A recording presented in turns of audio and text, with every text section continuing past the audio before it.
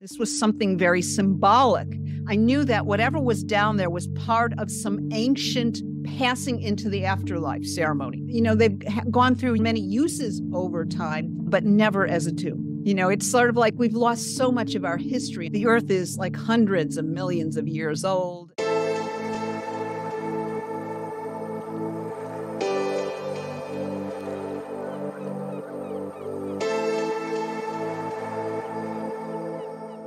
I recently booked an appointment with Jamie of Refractive Healing. As she was working on me, I felt such a comfort, such a gentle, embracing energy flow through my body. A sore throat that I had been dealing with was made significantly better. I want to share this gift with you. Book your free distant healing session with Jamie right here or using the link in my description. Thank you to Refractive Healing for partnering with me in this video. I am here with Kathy Forti. She has had a near death experience, which we're going to learn about today. Thank you so much for joining me. Oh, well, thank you, Melissa. Yes, it was my my life started out very strange. I've had some strange experiences. So this was not that unusual that later on in life I actually had a near death experience as well. Wow. Okay, well, maybe we should start out with the beginning of your life and the strange experiences that you had. Would you be okay with that? Sure, sure. I mean, the first time was when I was 18 years old and I lived in Chicago at the time. And I was involved in the theater world, not in the journalism or the, as later on, I went to become, I became a clinical psychologist. But I was coming back from working in a theater production and I was assaulted. And I thought for sure I was going to die in this this attack. And it was amazing. Just as I was getting really, I was going, I was all this energy was coming up and and that I felt like I was going to start screaming because I realized this was it for me. A screen opened in my mind, like a movie screen. And I saw myself in the future as an older woman. And I was sitting in this living room with, uh, I remember so clearly, it was a black lacquer Chinese rocking chair. And I could see the antiques on a hutch on the corner and the, the colors of the sofa, everything. And two children were sitting at my feet, but they were faceless children. And I was reading a children's book to them. I wouldn't, I wouldn't realize that later on in life I would write some children's books. And and in that moment, I knew I was going to survive that attack and live to be an older woman. And so this total calm and peace came over me. And I was able to survive the incident without him getting using the knife on me and shutting me up. So, but years later, when I lived in New York City, I walked into the house for the first time of the person who I would marry. And there was the black lacquered Chinese rocking chair. There was the antiques and everything just as I had seen it in my in my in in this vision. And although he has passed and he's no longer of this earth, I saw into a most likely probable future. And that's all that I needed. Some force behind me wanted to know don't do anything crazy and you will survive this attack. And and so it was a psychic opening for me. And then you know i i had prophetic dreams and things like that over the years but it wasn't until 2003 that i actually had a near death experience. But the the crazy thing was i'd work with children who had cancer. As I was a journalist for CBS News many years ago, and we were working on New York, the Ronald McDonald House a home for children who, uh, you know, were staying there for Memorial Sloan Kettering while they were being treated, the hospital. And I remember writing a book about near death experiences for children and death and dying, which led, P- I was talking to therapist groups and they kept saying, well, what's, what are your credentials? You know, and uh, sooner or later I went back and I got my clinical psychology degree. So everything was kind of leading up till that day in 2003 when I had I was my private practice in Los Angeles. So I moved from Chicago to New York to Los Angeles. And I was, I had an evening client. I was going kind of late, was probably about eight o'clock or so that time. And she was a Buddhist nun. And she said, Oh, tonight is the night of the Wesak moon. And of course, I, I didn't really know what a Wesak moon is. It happens in, in May, usually the first week in May or so forth, like that. And I said, Well, what is that? What's the difference? And she goes, It's when the veils between the dimensions are very thin and anything can happen. And, you know, I, I kind of filed that away, but didn't think anything much of it. So as I left for the day, I'm going, I'm walking to my car and all of a sudden, I mean, I do look up at the moon and it kind of looks like any other moon to me. You know, it's not anything out of the ordinary. Uh, but after I looked at the moon, I felt this whoosh energy right out of my solar plexus area. Very strange sensation. And with it, I was left immediate with a profound sense of emptiness, as if I had lost all my best friends. Nobody was there anymore with me. And I felt like I was done with my work on earth as I knew it. And that was a very strange sensation. I'd never had that before. And I wasn't incapacitated, but it was like, am I getting ready to die? And if I am, and if I'm not, do I have to feel this sense of emptiness for the rest of my life? And I didn't, I knew that was not going to be a pleasant sensation. And I still didn't know what it meant. So I went home. Went home and I'm sitting there drinking some tea on the on the on the couch and I'm thinking about what this could mean because I'm still feeling like I'm empty inside. And all of a sudden, I saw a swirling vortex in my head. And the next minute, I was sucked into this tunnel. And I was horizontal. I was feet first, and I was traveling really fast, and I could see light at the end of the tunnel. And immediately I thought, oh, is this the light everyone's been talking about?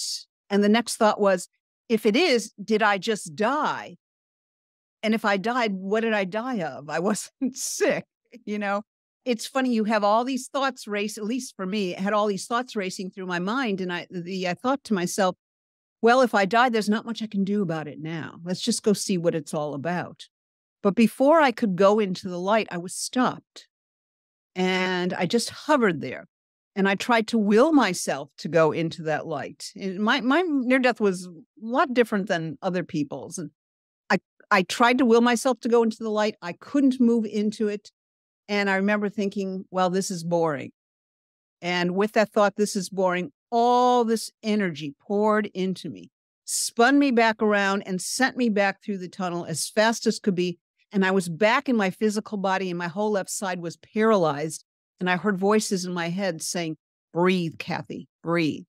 And I knew in that moment that somehow, for some reason, my heart had stopped and these voices were trying to get me to breathe back into my breathe life back into my physical form and you know i never heard voices like this before and they were very distinct and i was alone And the tea had spilled all over me and i'm thinking well I, I, you know it's i have i have no choice just listen to what they said and they just kept saying relax everything will be okay relax everything will be okay and i could actually hear in my head clicking as they were putting my left side of my body reconnecting it and uh, so that i had feeling again i said my left side was paralyzed. I wouldn't know till years later when i actually went to a cardiologist. He said I don't understand why there's scarring, scar tissue on the left side of your heart. Have you ever had a heart attack? And, you know, I didn't want to get into the whole subject of the near death experience with this doctor. And so I just kind of noted that, but it wasn't until years later. But anyway, as as I'm feeling back in my body, I'm feeling just a little pressure in my chest. And I'm thinking to myself, I am going to have to see a cardiologist. And the voices in my head said, Nope, everything is okay. You'll be fine.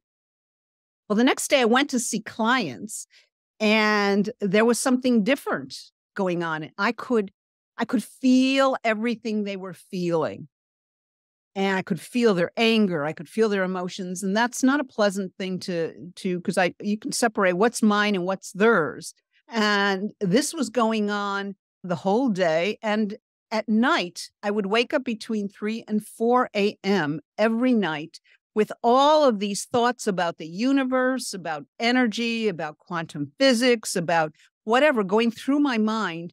And I couldn't go back to sleep unless I actually physically got up, went to my computer, and and researched what was going on and what, what I was hearing in my head. And the interesting thing was that I was understanding some of these concepts, even though I had no background in it. And also that these voices in my head were correcting what I was reading. It was like they were saying, well, this is true. This is not true, but this is as far as your race's understanding of this this this area is so far. And this was going on night after night. And the next morning, you know, I'd be filling all my Klein stuff. So I, you know, I thought I don't know what happened to me during this this uh, particular near death experience. So I called a friend of mine.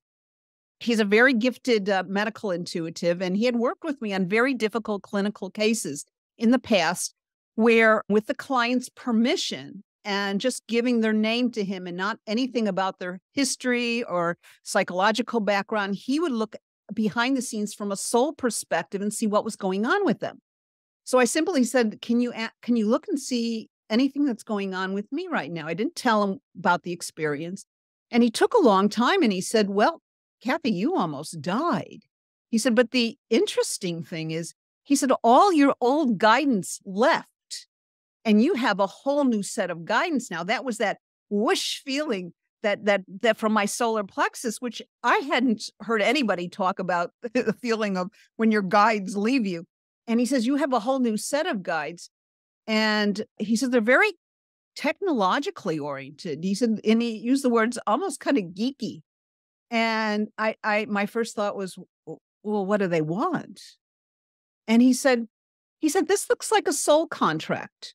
He said, he said, it's showing me that you were sent back. He said, he said, you could have kept going, but I guess on some level you must have decided you were going to go back he said they're showing me that you're going to develop or invent some type of i don't know he says it looks like some type of medical thing and i and i thought to myself oh no that can't be you know i don't know anything about electronics i don't know anything about inventing or or anything like that and he said nope he said that's that's what i'm seeing he said he said it, it will be a different type of conceptual thing uh, and I thought, oh, he's finally wrong. I mean, I'd worked with him for years and he had been so accurate.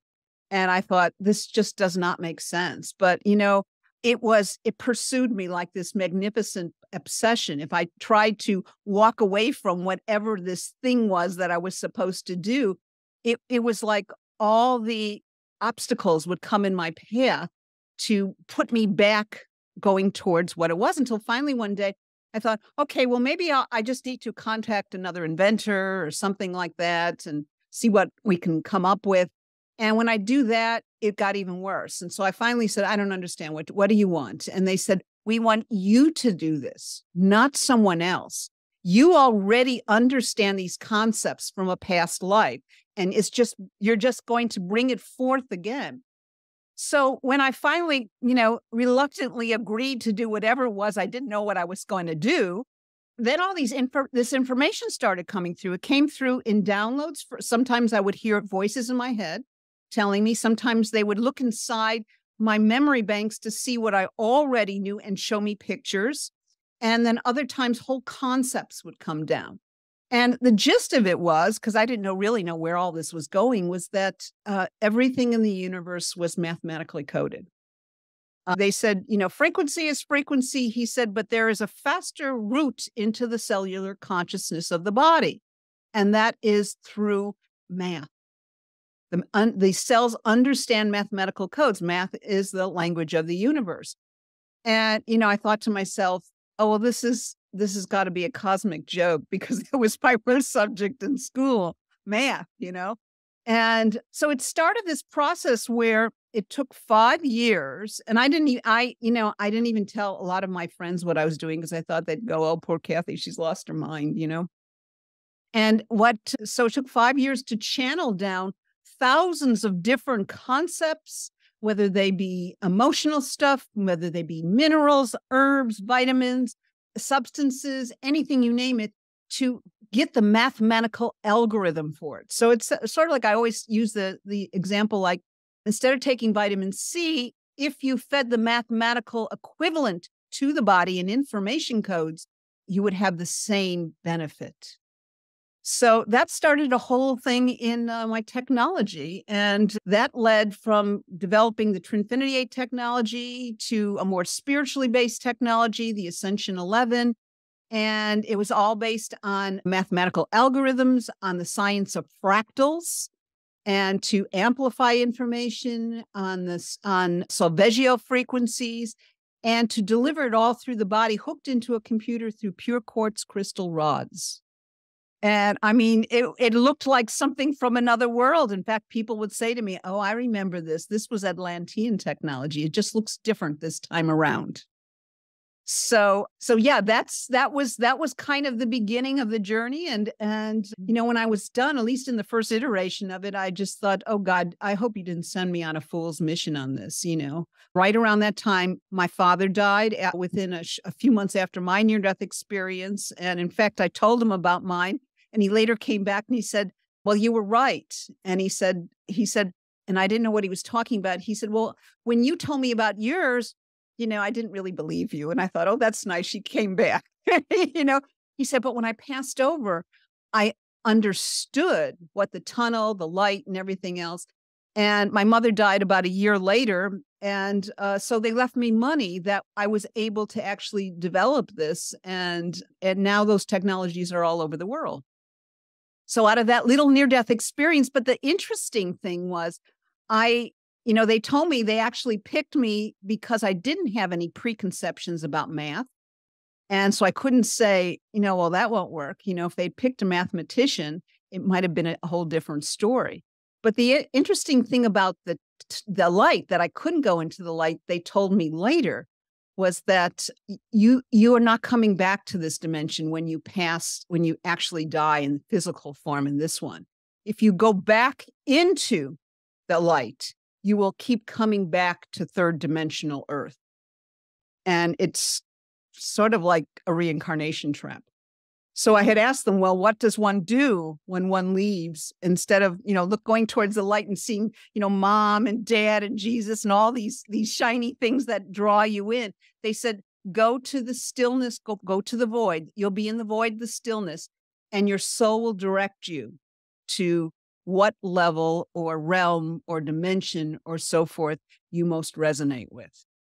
So so that's I said, well, why didn't I get why didn't I get all the flowery things and the Jesus and everything else? And they said, well, you've done this so many times. And he said, and some people need more convincing than others.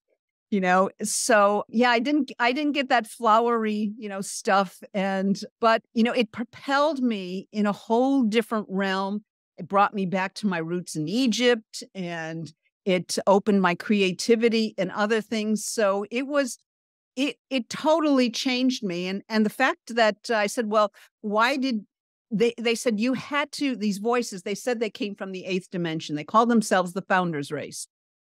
And they said uh, it was easier because in the tunnel, it's a transformation, an energy conversion tunnel going from certain densities to other densities. This is a uh, a heavier density where some of the other dimensional realms like there's 12 that they told me and each of those dimensional realms is within the other realm so it is like a fractal. And they said that that uh, it was easier to bring in a new set of guidance in the tunnel versus in my physical body in this realm. So that was that was uh, kind of uh, i mean that's kind of the story in a nutshell so yeah there's a lot that a lot a lot of things came from that afterwards mm. kathy thank you so much for sharing i have so many questions i don't even know where to start why do you think it is that your original guides left and you got a new set of guides do you think that was part of the whole plan or do you think that you switched timelines somehow Oh, that's a good question. I don't think I switched timelines. I found out later this was kind of a, a pre-contract and that that sometimes our guides are not always set in place. You know, we have muses that come in and help with us like if you're a writer, you may have you may draw from other past writers or those who are inspired in that realm to help you. And because of the nature of what they wanted me to do, my guides that I came in that brought me to that part in my life, you know, were not maybe sufficient enough to work with me on that particular. I mean, you had to think guides, you'd think guides know how to do everything, but they have specialties. They do have specialties. At least that's what I've learned. And um, so I was bringing in a, a little higher dimensional frequency uh, guides uh, for the technology part. Yeah. Yeah, that makes sense. And so they told you that you had some experience with this in a past life and you had Yes. that knowledge, and that's why they wanted you to create the technology. And then when you received that information, I think you said that you were channeling it. Was it, Yes. did you feel like you were remembering it from a past life or more like you were getting it from your guides? Uh, this I was actually felt like I was getting from the guides because it was it was strings of mathematical equations, algorithms. In for people who don't know what algorithm, algorithm is just like you follow a recipe. You know, you Mhm. put this sugar and then you put this cream and so forth. All those three ingredients make the cake. And that's the algorithm. So all these parts of the algorithm together were what and behind like let's say let's say one particular program there might be a hundred different algorithms behind it to make what comes through. We had, I was led to, I'd never done you know, like a vendor booth or a conference or anything like that prior to this. And when I, when uh, the first iteration of Trinfinity 8 was done, they led me to this conference in Colorado. It was the International Society for the Study of Subtle Energy Medicines and I just put a couple laptops out there with with the signal boxes and the crystals attached into it and just invited people to give me their feedback. And before I knew it I had I had a line at my booth. And I wasn't charging anything and I a lot of the other people couldn't understand why why I was had a booth and, and I wasn't charging anything and people were lined up. And they a lot of these people that went to it could see energy. I can feel it, but I can't necessarily see it like they could. And when people were on the device, they were telling me what they were seeing. And they were talking excitedly. And I said, Well, what are you seeing? He said, Well, this is interesting. We're seeing like sharding, like glass shards coming out of the body. And I looked over, and the program that was playing at the time was release emotional blockages. And then another time they said, Oh, now we're seeing rainbow plumping coming out of the body. And I'd look over and it was balanced energy centers. And, you know, I had this one guy get on. He was an ophthalmologist and he also was uh, a psychic. And I didn't know all any of this till later. And he came off the device and he was crying. He's the one that said, I remember this from past life. I didn't think I'd see it in this lifetime yet, but it looks different. He said, All of my guides came forward and knew immediately what to do with this technology. And he says, I saw them fine tuning it like a dial so that my psychic ability was even sharper. And he said, then I saw all these beings come forward and who who were behind the technology. And the, those were the eighth dimensional beings. And he said, and then we saw this man come forward who, who identified himself as your father. And he- this guy didn't know anything about my background. And he and he said, just tell her it was money well spent. And remember, I said after he died, I, the inheritance from that. And, you know, I thought, wow, that was a real confirmation for me. So it was in the infancy stages then, and it grew. And, the, uh, you know, I've got, you know, so many practitioners in all different areas around the country. Some, you know, use it for to speed up uh, tissue repair, for pain relief, or so forth like that. And and some use it standalone and some use it as an add-on and it was you know it was sort of like they said to me at this conference that we saw that many of these technologies would start to come down. And that's why we formed this this particular association because we saw in the future that many new technologies of this nature would would come and we wanted to have a forum. And he said yours was the first we saw come through. So and I'm sure, and I know there's others out there. There's been explosion because when we look at it now, in the last hundred years, so many people from prior civilizations, Atlantean, which was so much even more technologically advanced than we have now, were all being reborn. And so we had an explosion in technology like never before. So that's these, this is like everybody's coming back and kind of tapping into their old, you know, what they remember. They may not consciously know that they remember this or or tapping into the collective consciousness to bring forth this as part of this new evolutionary time. So you know, we're all cogs on the wheel and we all, even you, you know, bringing forth this knowledge to other people so that they can think outside the box and know that they're more than their physical body. Yeah, exactly. So you mentioned Atlantis and you also mentioned that you have had roots in Egypt. Have you had a past life in either of those places? Oh my gosh, yes. I In fact, the last you- the last lifetime I remembered in Atlantis, unfortunately, it was a wa- a wave of water. And I was standing on the shore and I knew that I was going to and to this day I still have some fears of big waves. You know, I live in Maui, I live the ocean all around me, but I try to avoid the ocean on days where there's big huge when there's there's it's whipped up. The land the uh, wind is whipped up and and waves are high. And um so I, you know, in, in Egypt, I have more remembrance of what went on. And so I was told by my guides, you need to go find your roots again. You need to return to Egypt. So the first time I was in Egypt was I tried to go in 2000, um, what was it, 2000, uh, 2011. And a month before I was supposed to go there, Egypt uh, erupted. They had the Arab Spring uprising, and Egypt shut down and you know tourist and tourist uh, tourism shut down and everything so i had to wait two years to return there. So i went there with um, a small little group of three other people who i did not know who had been there before and uh, i wasn't leading the group this time. Afterwards i would start to lead groups there on my own but i remember the first time in the king's chamber um, i was uh, I, I laid down in the sarcophagus. It's not really a sarcophagus, but I mean it's it's a container box. And it's such a wonderful sound resonance chamber that I just immediately started toning and chanting and feeling that vibration through me. And in the next moment, I saw um, in my mind's eye the a lid close on the sarcophagus and shut me in. Now there really is not a lid there in real life but I saw it. It uh, shut closed. And there was a brief moment of panic, like I'm entombed. I found out later I had died once from being entombed. And so, but I heard my guides in my head say to me, You know what to do. And I realized I did. I slowed down my breathing and I felt myself lift out of my body. And suddenly the bottom of the sarcophagus opened up it was filled with light and it opened up and i was moving down into the the pyramid. And i the, you know just like in the tunnel like why can't i go into the light? I kept thinking aren't i supposed to go up not down?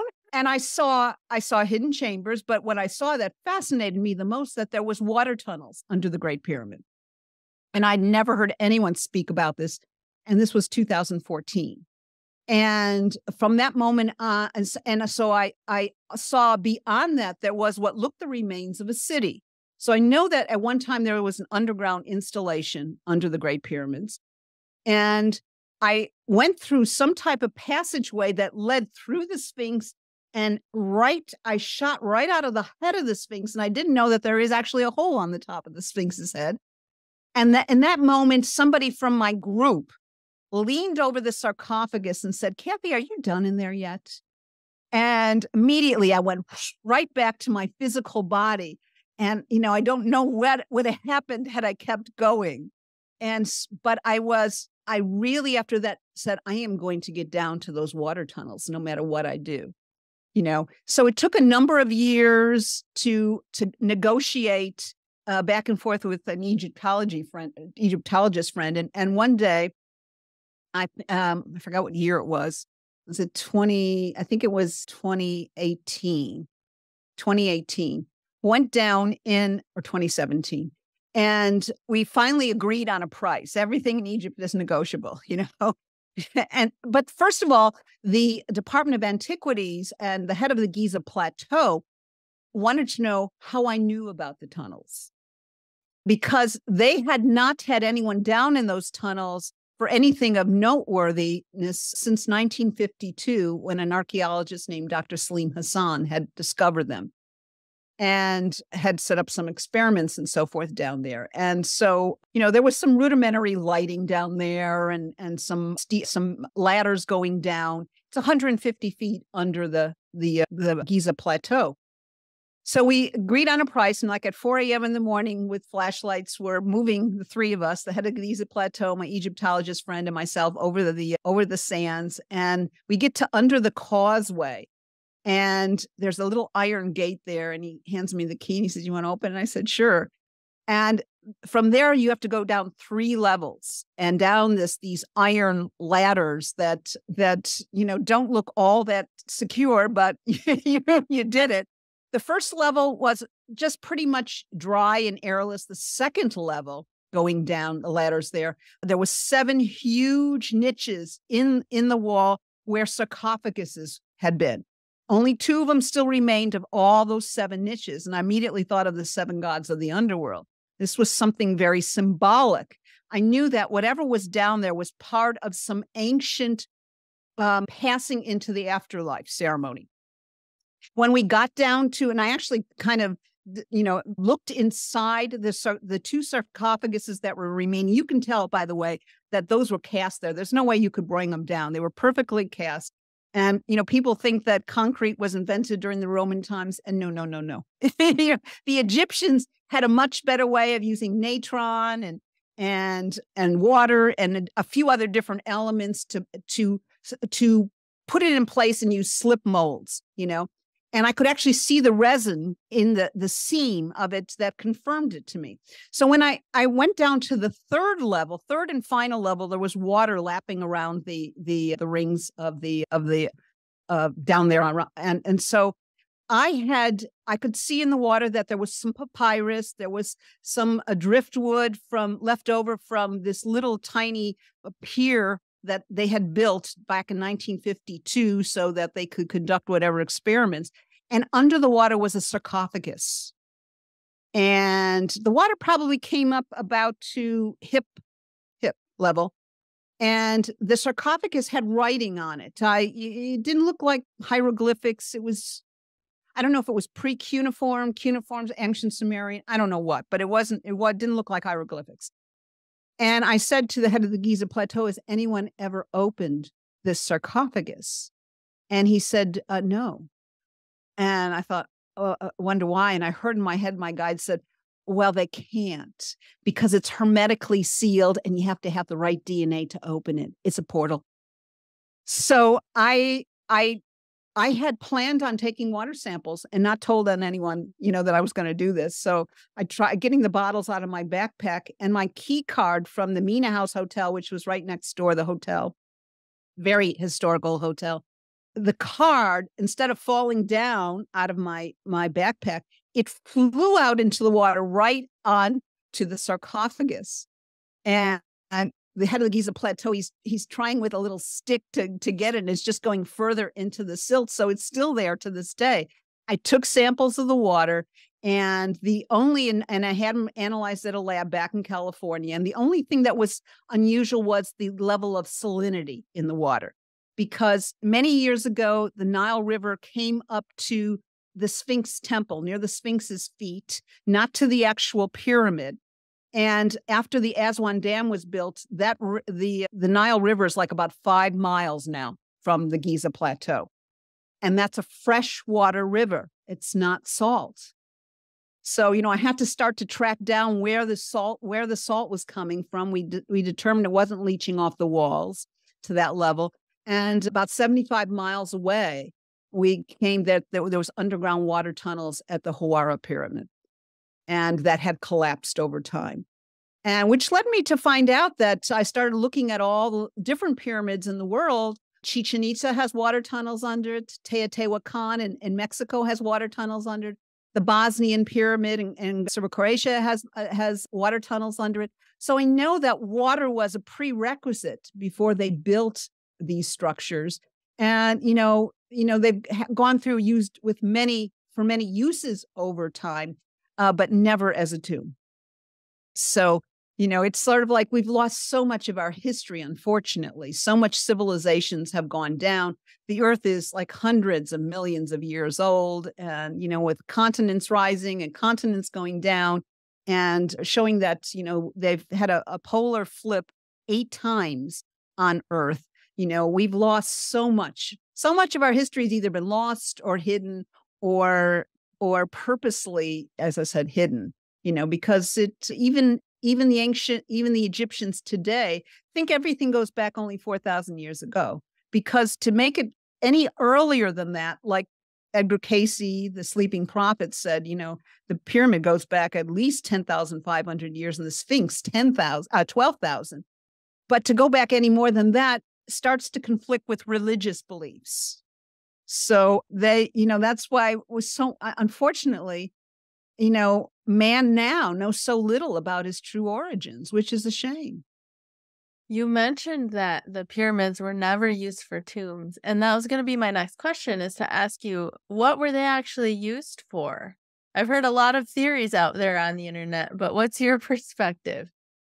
Well, after the third and final upheaval of Atlantis, the the Earth axis, uh, at least this is what I was showed, the, the Earth axis, the pole axis was very unstable. And actually, Egypt was sort of the center, almost the heart center of Earth and ley line wise. Now, the Egyptian, the Atlanteans had their outposts all over the world. They had them in Antarctica, and Antarctica back then was was very fertile and lush and so forth.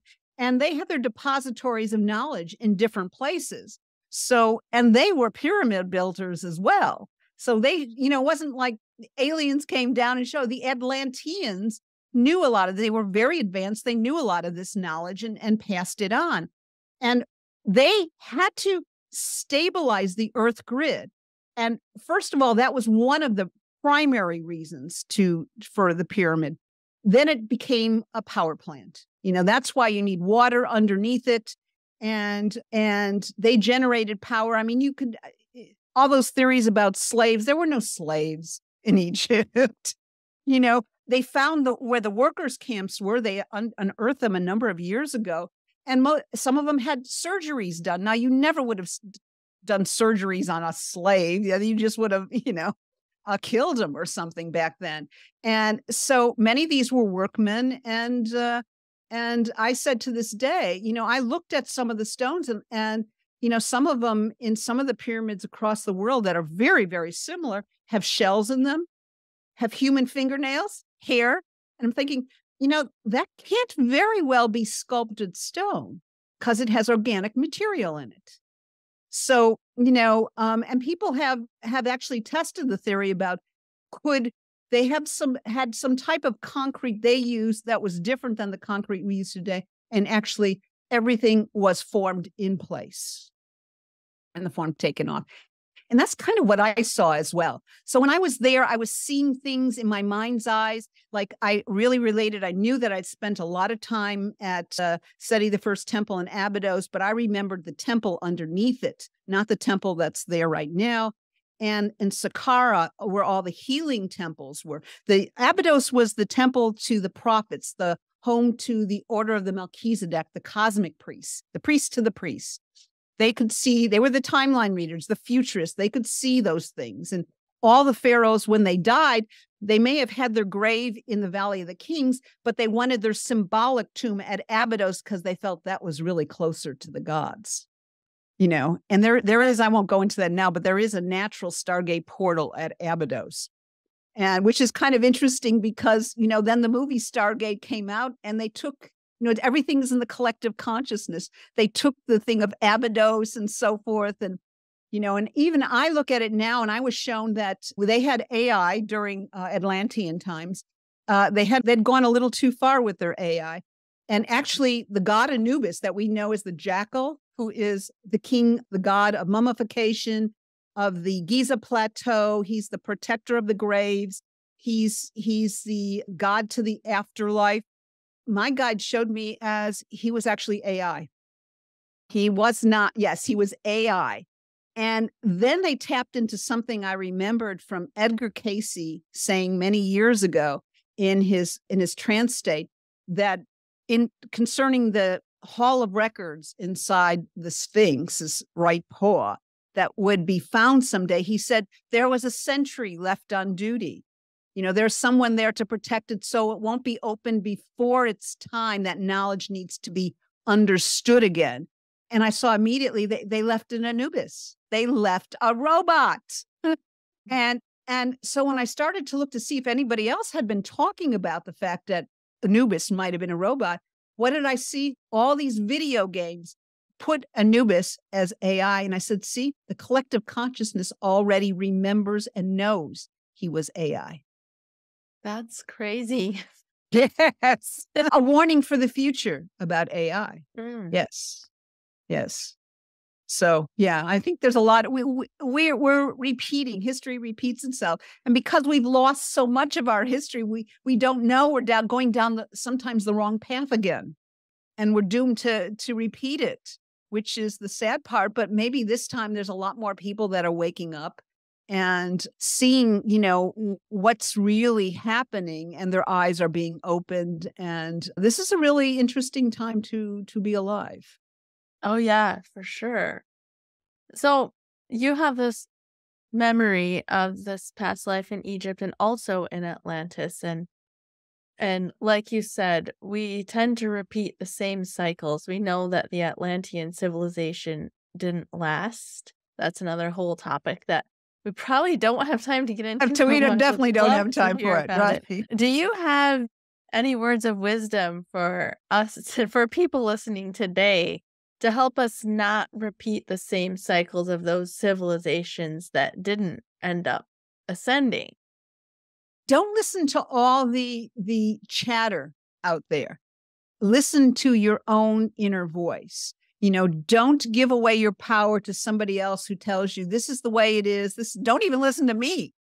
you know, uh, follow what resonates inside of you and seek your own inner truth because I personally call this the age of discernment. You know, sifting the wheat from the chaff because, you know, what's up seems to be down right now, what's what's true seems to be false or false seems to be true and you know, we're in a world where everything seems upside down. And we're left to try to figure out, well, who's telling the truth? you know?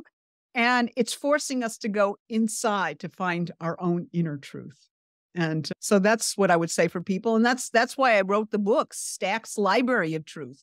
You know, that that those were all channeled books that came down and they're available on Amazon. And that and that those books, I, I they came to me in a dream, the whole plot. And what I saw was that, you know, kind of like the Akashic records where everything is kept, you know, and on uh, in some some other dimensional realm. Uh, what they showed me, well, of course, I, I had to go back because I had a client of mine who had a near death experience. And she said, Oh, I went to a place where I could look up everything on anything. And I said, Oh, kind of like a library of truth. And she goes, Yeah.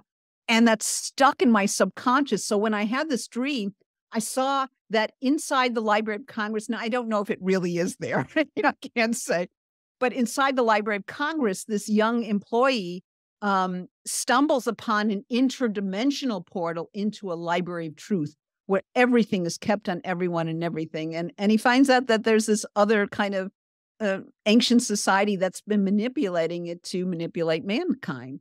And so, you know, he tries to to release a lot of this information. And of course, this is in Washington, D.C., and he sees how all the power brokers of the world, you know, backdoor have have have plugged into this. And so, you know, as I'm writing it, things are coming down to me. And, you know, I'm thinking like, oh, that's interesting. I didn't know you could do that too. So the books became a channel thing. And people would say to me, Are you sure this is science fiction?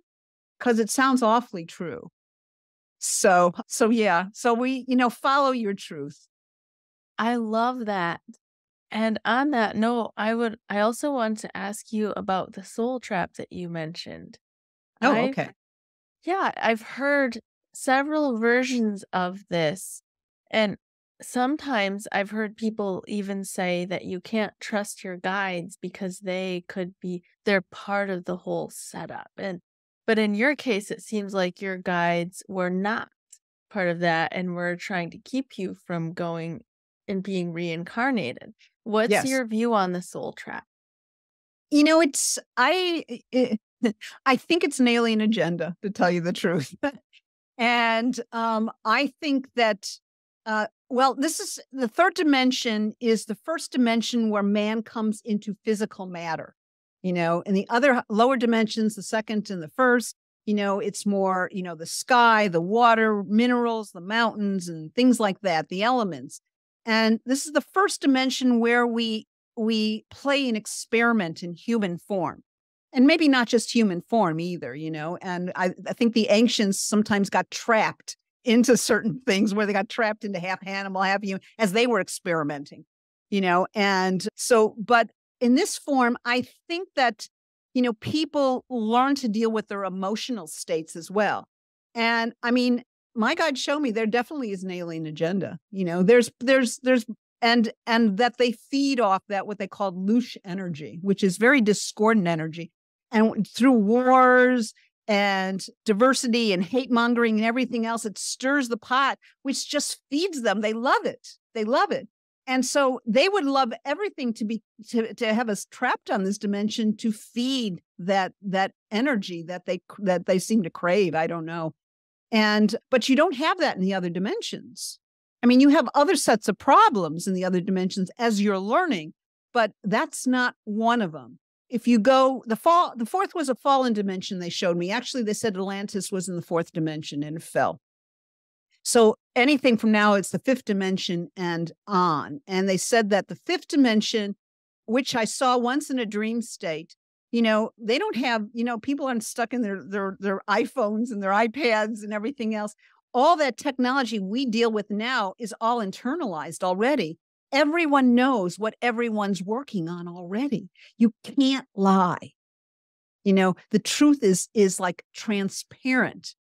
And a lot more souls as they're leaving this dimensional time, this lifetime, are going to be moving to that dimension or beyond wherever they belong, resonate to and leaving maybe more of the younger souls to work out their whatever they need to work out on the third dimension. I think that there's a lot of old souls here who've gotten kind of complacent and now they look around and go, you know, things are a little bit too much more crazy here now than I like, you know, and I'm I'm ready to move on after this lifetime. And I've noticed that so many people that I run into lately have opted to not have children in this lifetime as well. And I asked my guys about, they said that's not leaving any ancestral ties behind when they leave. Now, it's not to say that, you know, you're any less evolved if you decide to stay here, you know, because there's things that maybe you want to experience too. But it does, it is pushing some souls to move on to the next level. And uh, there, there'll be problems with an influx of a lot of souls going into the fifth dimension as well. So, you know, it's like every and there's 12 dimensions all within each other. They're all encapsulated. So what affects one dimension can ultimately affect another. But here's the crucial thing getting back to ai which i was shown that if we continue down this path and try to eliminate human humans by the whole thing of uh, whether it be you know machines to take over to increase make superhuman intelligence and so forth. Human souls that want to come in and learn on the third dimension can are not compatible with ai because it nullifies their free will. And that's what this this is a free will dimension so as less souls opt to come, human angelic souls opt to come down into this dimension, it will eventually, in several hundred years, lead to the collapse of the third dimension. So in essence, any of those aliens that want to keep this dimension for themselves, well, ultimately it'll do it in anyway. It's it's sort of like, you know, catch 22. And so, you know, there's a lot of things that are very complicated about going behind the scenes, and they've shown me all this. And, you know, sometimes I just, you know, instead of writing books about it, I just put it into my Stacks Library of Truth series or so. So, you know, people can either take it or leave it and, you know, not necessarily take it as truth, but at least maybe they resonate to it. And it's, I think a lot of it is, continues to be a warning. Yeah. Okay, one quick follow-up question to that last one I asked you, and that is how do people know if they can trust their the beings that appear to them on the other side? Like how do they know if they can trust their guides or is there an if there's a light that's like a reincarnation trap, is there another light that's also the source that can be trusted? Does that make sense? Just go inside and ask yourself. I mean, if you're looking at beings that are appearing to you and telling you something, I would take that maybe with a little bit more caution. But if we all sit and meditate, we all know, you know, there is that still voice. I mean, as a therapist for many years, clients that I had a very difficult client population, uh, most of them were dissociative identity disorder, which used to be multiple personality called that.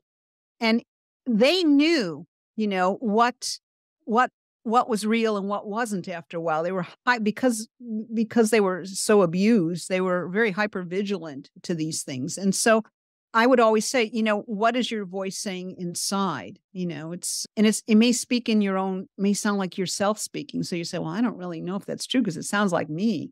It is you you know. You are your own higher self you know. Forget the guides you know. Sometimes you have help in certain things and sometimes all these some of these things have come to me as just an all-knowing you know? And sometimes i'll just ask you know you know check in with sometimes my guides to any verification or add-ons to it but you know if my own inner voice has said this is true then i go by that. Yeah you know even if somebody else is out there that i like what they're what they're saying you know but if i don't resonate with it you know i don't take it. Kathy, thank you so much for having this conversation and sharing your story. Would you like to share with the guests where they can find you?